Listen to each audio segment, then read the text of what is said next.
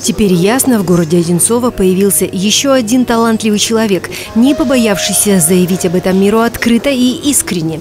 Фирус Файзулаев родился в Ташкенте в семье писателя Саяра Файзулаева и поэтессы Гульчихры Джураевой. Воспитанный в узбекской культуре, Фирус стремился постичь и культуру европейскую. Закончил актерский факультет, дебютировал в фильме «Волки», потом были роли в картинах «Потомок», «Очарованный тобой», «Наследница», «Ресторанная любовь» и других.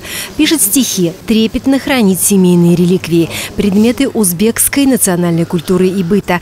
И, по примеру своего брата, профессионального художника, у которого многому научился, пишет маслом, создает картины в смешанной технике исключительно под влиянием своих эмоций и велению души.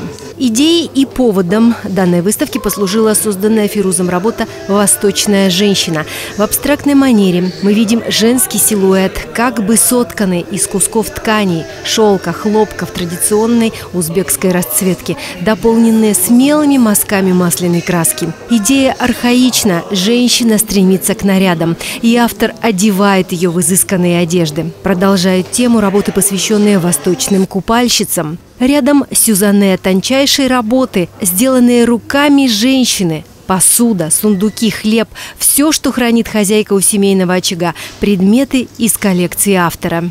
Для меня женщина – это муза в моей работе, в моей жизни.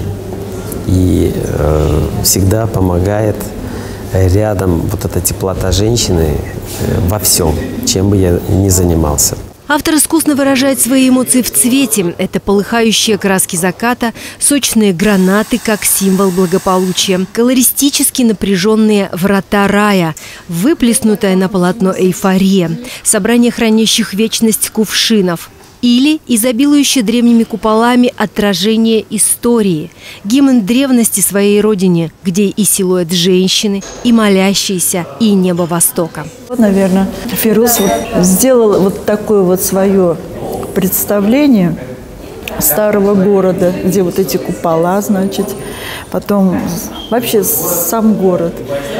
Он вечером такой, а днем он может быть совсем другим. Но сами видите, насколько это красиво. Атмосфера открытия выставки оказалась согретой теплом друзей, приехавших специально из Ташкента, других городов. Ильдар преподнес сюрприз, прилетев из Екатеринбурга. Купил билеты за две недели пораньше, подготовился, пришел. И я очень рад, что сегодня вот такая атмосфера душевная. Внимание гостей привлекли работы, направленные на философское осмысление мира – так споры и дискуссии вызвали полотна размышления. Снегопад в Нью-Йорке, собака.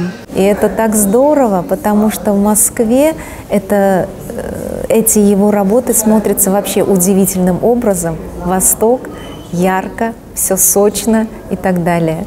И очень талантливый художник, не профессиональный, но со своей внутренней культурой, со своим внутренним вот каким-то таким вкусом, Э, я думаю, что его работы, они настолько необычные и интересные.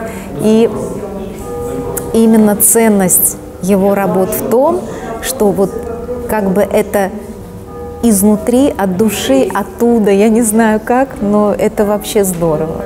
Выставка «Восточная женщина» в арт-галерее Ирины Долининой продлится до 5 октября. Адрес – улица Чикина, дом 1А. Вход свободный. Ольга Винтер, телекомпания «Одинцова».